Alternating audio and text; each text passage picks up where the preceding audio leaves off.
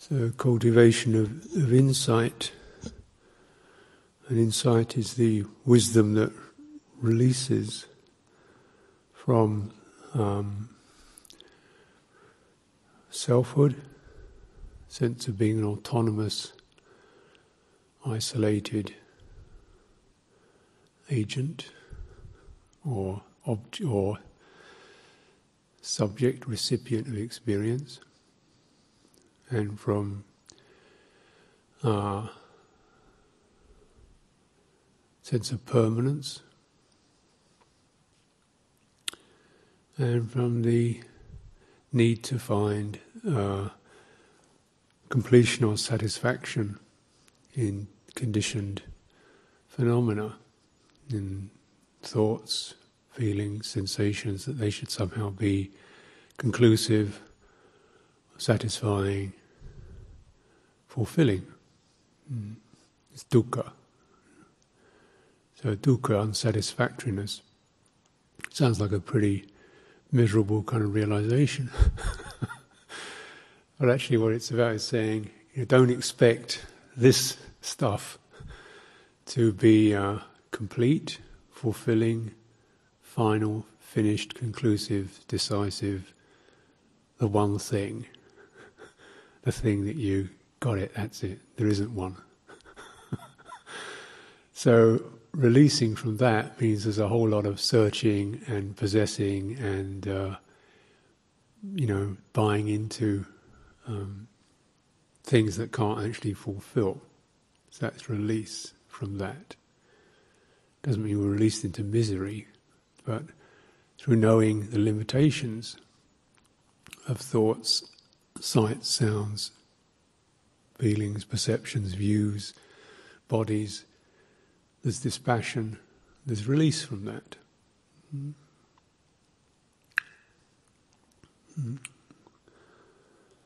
So, what is released? Is it some kind of self? No, there's release from that too. is it some kind of permanent state? No, there's release from that also. So, this release can't really be defined apart from uh, the highest ease. yeah and it's uh, it's not the one thing. If you want to find the one thing, the one thing you could say is clarity, clarity about this, and release.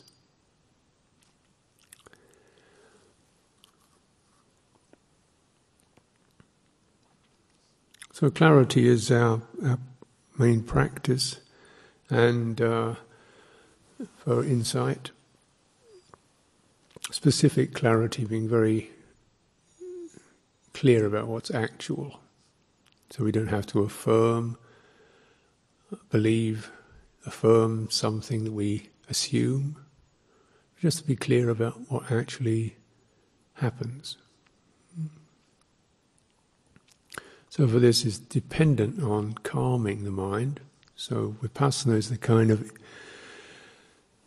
wisdom that can only arise when the mind is calm. So it's not that they're contradictory. Samatha is not contradictory to vipassana. Samatha is a requirement for insight, because unless the mind is steady and stable, you can't really do the kind of scrutiny and investigation, because the water's too too rough the mind is too uneven to really contemplate. So a lot of our practice always comes down just to calming, brightening, easing, opening, steadying, stabilizing, soothing, blessing, lifting, uplifting. You know, so that is the is the ninety percent of it, isn't it?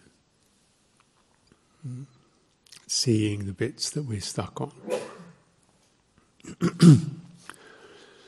But then, uh, you know, one still get the idea. And I think one one of the, of course, the, the limitation of samadhi is that you do find the mind seems very solid and settled. This is the one thing. Now, kind of mind is settled and solid. I want to have that state where my mind feels settled and solid and happy. That's the one thing to get. And of course, um, so we begin to contemplate that one thing, you realize that, well, there's several things there. First of all, was the intention to support it. There's the attention, focus on an object. There's the perception, sense of space or brightness. Mm. There's the feeling, subtle pleasure. That's not one thing, that's several things already. Mm. And they are naturally with samadhi, those are kind of held in a, in a good balance. But they're really separate things, and all of them are subject to change. Intention can change, attention can change. You know, suddenly your attention can shift to something else and the thing starts to fall apart. Perceptions, we can get dazzled by lights and nimittas and so forth, but they can change. Energy can change. Feel sick, tired, can't get there. So it really is dependently arisen, uh, any kind of mind state. And with when the mind is collected and calm, you can get to see that more clearly. It's dependently arisen. This is arisen through energy, effort, attention, intention, and it gives rise to perception, feeling, states of consciousness. All this is subject to change. You, know, you can't. It's not. It's a. Uh, it's a beautiful art. It's a beautiful crafted state of mind. But that's that's it.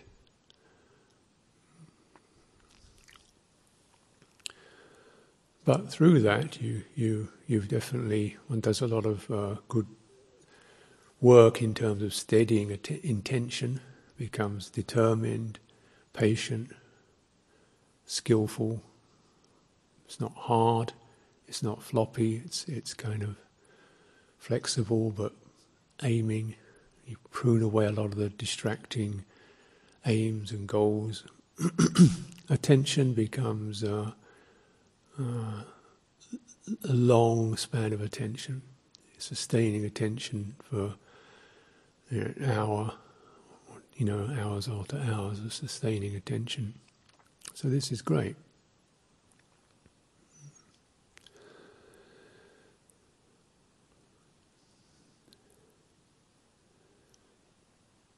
But it's not the one thing, because it changes.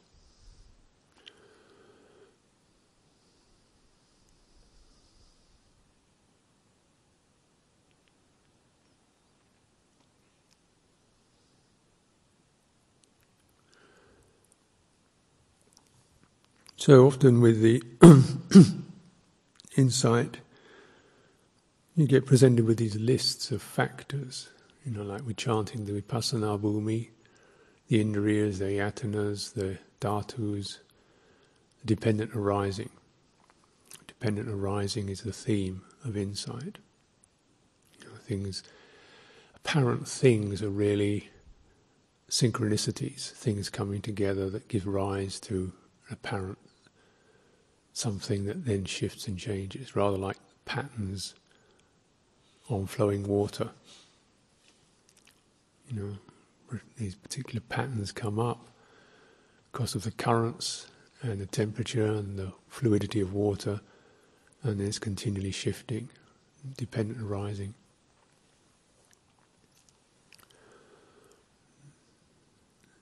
And this, uh, this of course, is one of the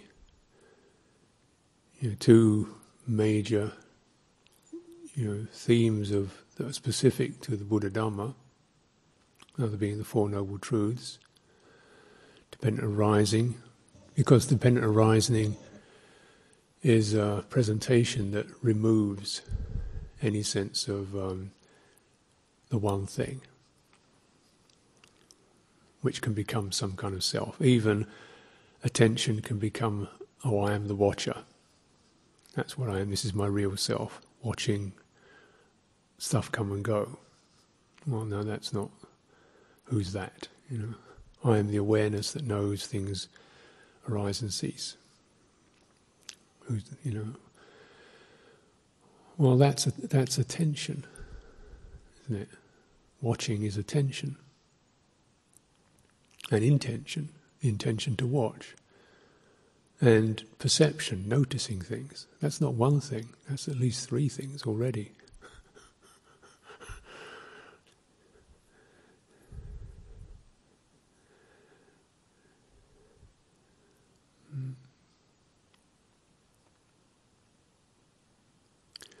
So clarity is this is why this, these are insight teachings are often lists showing you the different factors that are coming together. And of course, you don't have to know all this stuff intellectually, but to get the feeling for it. So you're continually looking into. And I was suggesting yesterday taking a theme from the Patisambhidamagga, which is a late canonical work, the four bases of selfhood. One is the sense of abiding. I am this. I am in this state. This is what I am. Another one is um, agency. I am the cause of this. Because I open my eyes, I see that. Yeah. Another one is uh, the recipient. This is happening to me.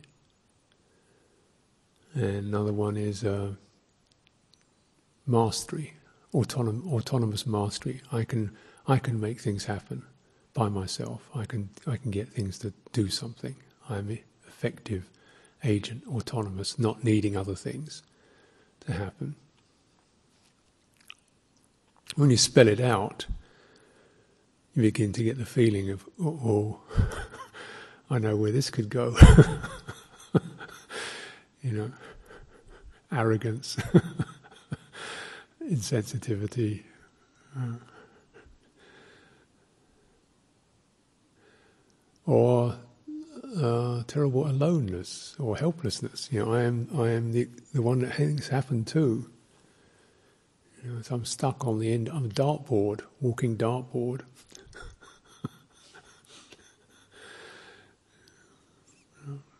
continually impinged upon. So, all this is dukkha. I was saying yesterday, looking into abiding. Hmm. So, what is abiding? Hmm. Contemplate stability of mind, there's awareness, there's perceptions, the feeling, energy. There isn't some person, there isn't an entity there. There's that. You can abide internally, there's going to be abiding externally. We can get into what we're looking at. Just notice in a day, without any, you know, intense concentration, just being clear. Here I am reading a book, I'm abiding in that story. You know, my mind is in that. Here I am sweeping the path, my mind is now sweeping path. It's abiding in that. If you're focused. Or it could be abiding in confusion or restlessness. Hmm? And all these abidings really are very temporary, aren't they? And conditioned and caught. And if there was no book, you wouldn't be reading. If there was nothing to see, you wouldn't be abiding in seeing. Because the mind has such huge domains, we can always abide in some state or another, seemingly abiding in unhappiness or abiding in happiness. But they change, don't they? so there's no abiding, really. There's clarity. And when you begin to, well, what's the point of that? You begin to realize, well, then instead of that tenacity to hold on, to some state or fear or defend oneself, you can allow these abidings to move through. And calming and kindness and clarity and ethical integrity all allow these abidings to move. That's what you want. you don't want to abide. Because if there's an abiding, it becomes somebody who's abiding in it. And then when that thing shifts, they've been thrown out of their house again. They've got to find another one. like being a squatter.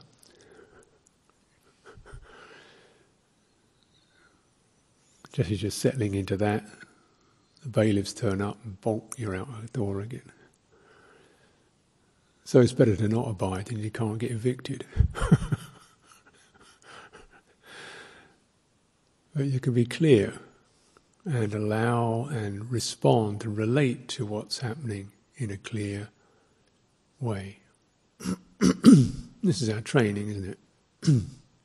We're homeless ones.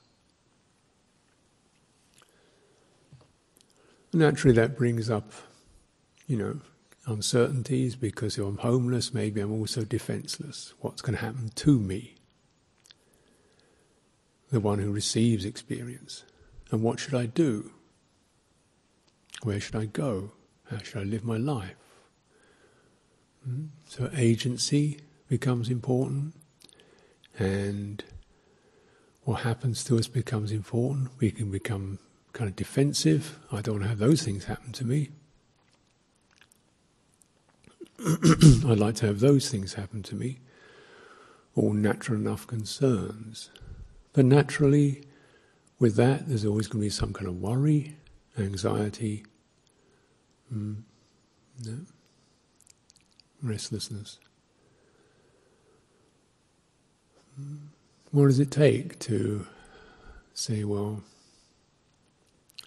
what happens to me, you can only you can't have a lot of choice. You can have some choice, but not much.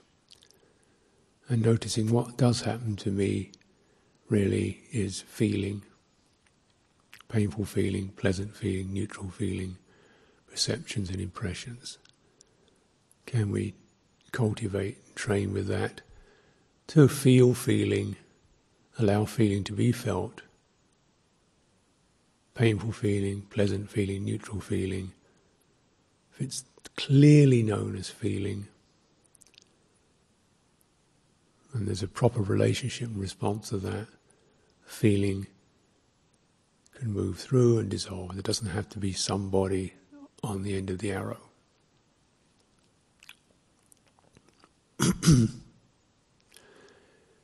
this is this is a you know an aim, an aspiration to that realization. It gives us something to keep looking at. Because, yeah, you know, when painful feeling happens, it happens definitely, it seems like it's me on the end of it. but that's the point, isn't it? We get to that bit and, oh, come on, you know, feeling is feeling. It's this. It's not motivated. It's not trying to hurt me. It's just doing what it's supposed to do can it move through?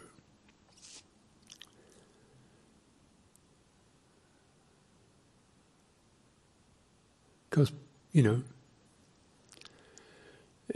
that's what we have to work with being with feeling. Being the, so, not being the recipient of it.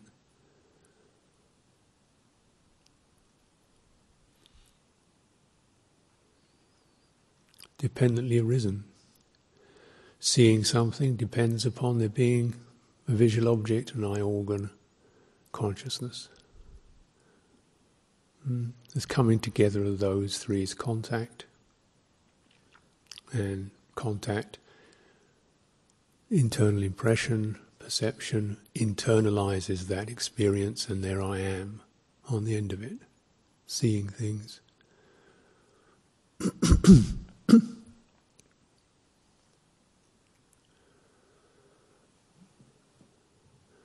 but naturally, because of that, uh, the intensity of that that experience of contact,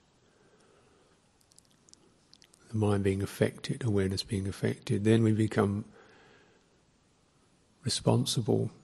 Clarity gives rise to responsibility as to what I'm actually going to put my attention onto, you know, which is not going to generate huge amounts of strong feeling, calming.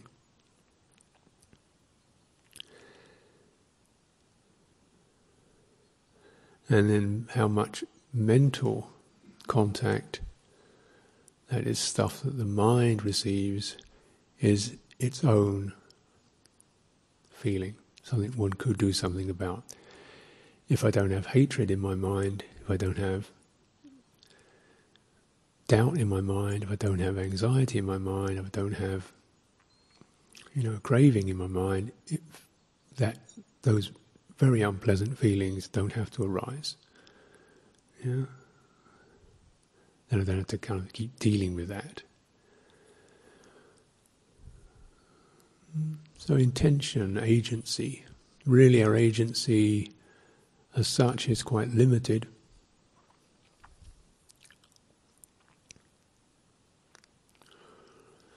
Mm.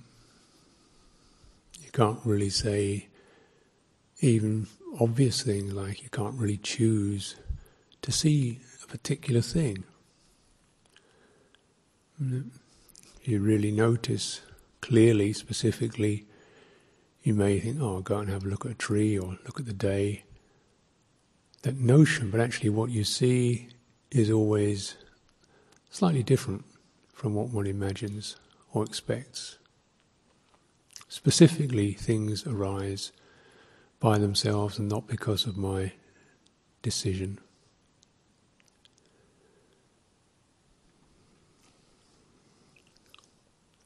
There's no real agency in that. You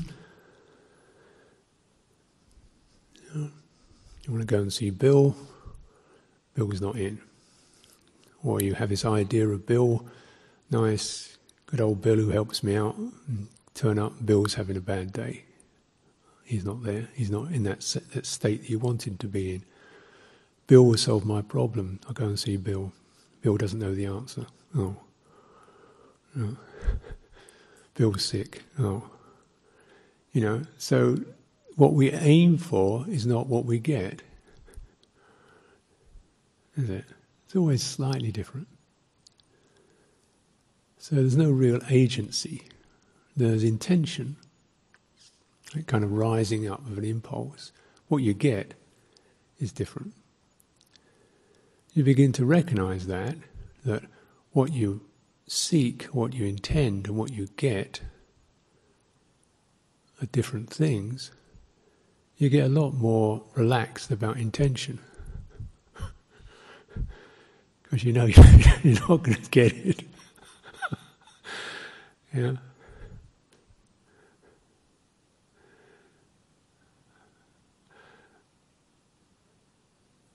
You're not going to get the perfect banana. You're going to get a sort of going to a fruit shop, you get something, but it won't be quite the perfect banana you had in mind.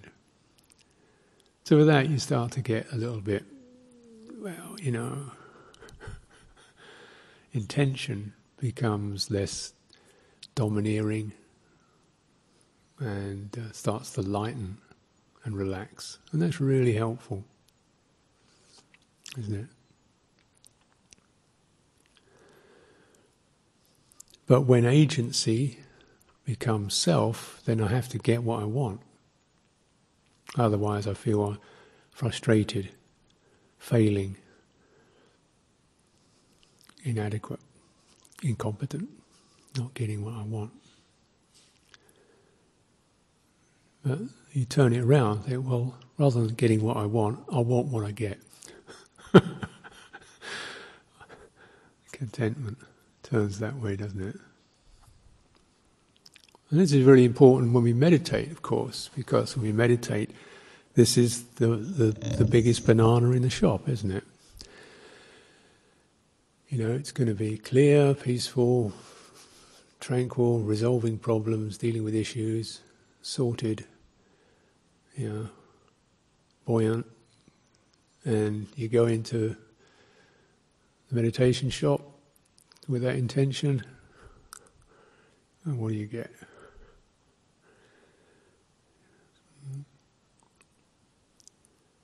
Seeking, wanting, struggling, trying to create something that happened yesterday, trying to have an experience that you read in a book.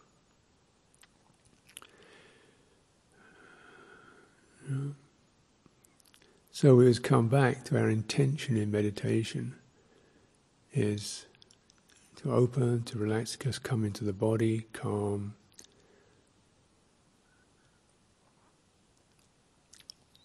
And then look at specifically what is arising and how you respond to it. It doesn't matter, rest of it. You know? And just that free from doubt, that you just have to work with anxiety for 10 years. You know, or however, however long it takes, doesn't matter really, because that's what's arising. And if one is much more willing to be with that, then it will, you're going to, that's going to resolve itself a lot more clearly than in, you know, always making a problem that one shouldn't have. So this issue around agency and competence and is really a, a big one to see through. This is where selfhood lingers.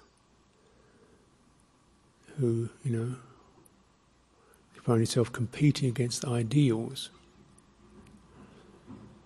hmm? running a race against an ideal. And the ideal will always beat you every time. It will always run faster, it'll always climb higher, it'll always last longer than you do. Because ideals don't have to, they don't have to deal with existence. So what's it like, you know, to not be ideal, to not, it's, it's clear, that's what it's like clear, specific, meet what arises. This is relationship, clear relationship. If there's the one thing, it's clarity. You could say the one thing is the. Another one thing is to understand clinging. Now, the one thing is to understand craving. These are the one things.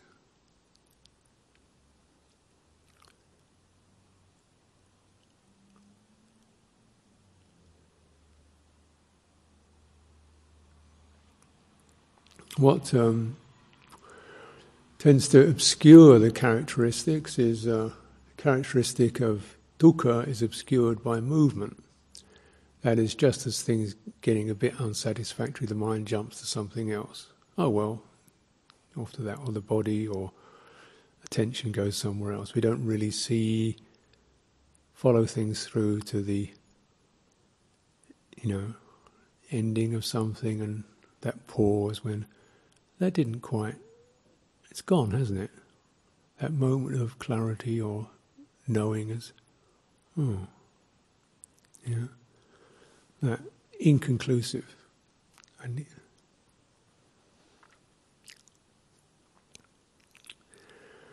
solidity obscures the sense of realization of not self. And this is a big one because surely we'd like to feel secure, and wouldn't security be about feeling solid? Hmm? Wouldn't security be about being solid? Well, depends on the on the medium. Mm. Rocks don't do very well in water; they tend to sink. They're solid, but they're not very secure.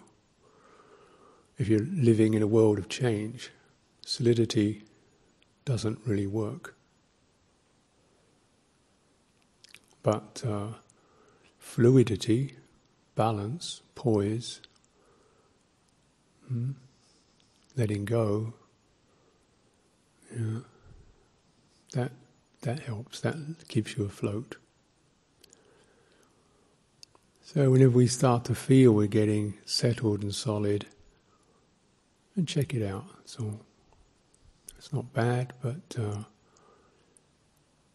really. Um,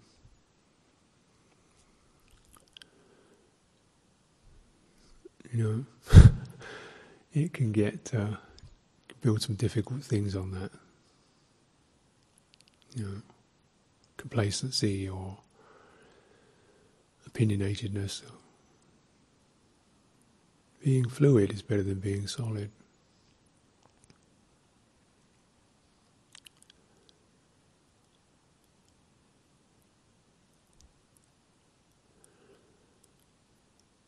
And through that, what does become more realized is the way, not a thing, but the way, the Dhamma as a way, not a thing. Way of non attachment, the way of dispassion, the way of relinquishment.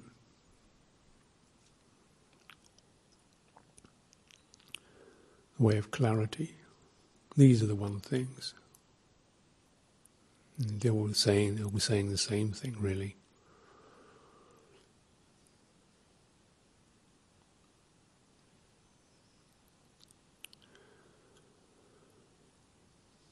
So, in terms of the way of Dhamma, insight offers that opening to the way of Dhamma. We begin to realize what all the one thing is to free, free up. Noticing with intention, agency, directive, motivation, impulse. This is accompanied by where's it coming from? Is it restless? Is it generous? Is it resistant? Is it or don't even know where it's coming from.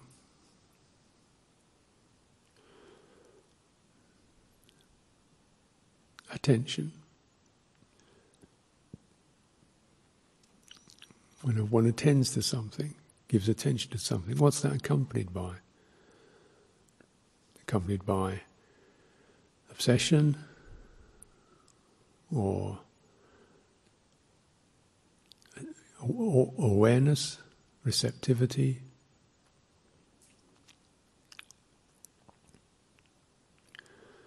Contact, what's that accompanied by? Hmm? What are those contact impressions accompanied by? Wavering, resisting, holding on. So you notice really, you can kind of almost get it down to just these three bases intention, attention, what you what you're holding, how you're holding something, intention, what you're aiming for, contact, how things are affecting. You notice, you contemplate, look insightfully into those experiences. Where's the snagging? Where's the grasping? Where's the clinging? Where's it going, getting stuck? And then releasing. So I notice even like, you know, going out, doing some walking meditation, you walk up and down and, you know, get to the end of the path and here we are again. That's clinging. You never hear again. There's no such thing as again. If your mind is going another hour of this, another half an hour of this, it's stop, pause, check. What's your, what's happening? We're not attending specifically to what needs to be attended to. We're feeling bored or fed up. Uh huh. Pause, stop. Where's that? Is it in your body? No. Is it in the path? No. So just get back to the body walking the path. You begin to reveal these uh, places where we attention gets stuck or intention gets bored, doesn't want to bother.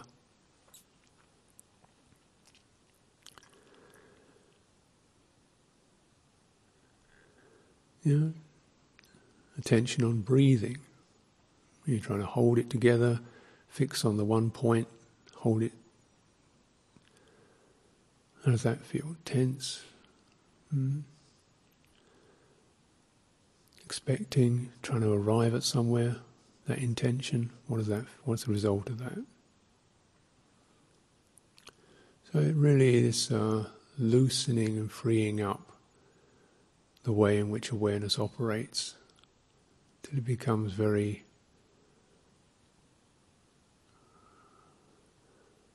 malleable and applicable in all situations. It, it starts to mean all your life really is a meditation.